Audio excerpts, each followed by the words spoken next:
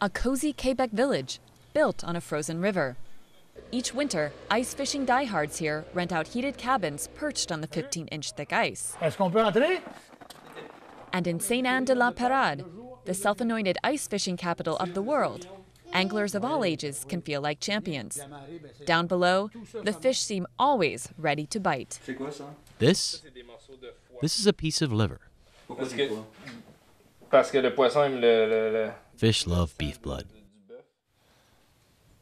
Donc c'est avec ça qu'on appâte. euh, So that's what we use for bait. et normalement, ça prend And usually, beaucoup de temps. it doesn't take very long before we catch one.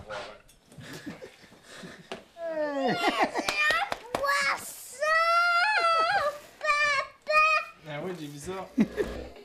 Over 100,000 enthusiasts from Canada and abroad flock here each year for Tommy cod season.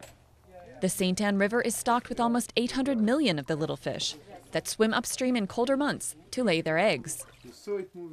For these Russian emigres from nearby Montreal, this chilly outing reminds them of good times back home. We used to fish under the ice, and here the same. But it's much more convenient because we have the warm cabana. Tommy cod is rarely served in Quebecois restaurants, but when they do, most diners here like it fried. With a long winter ahead, a tasty treat during cod season is something to look forward to.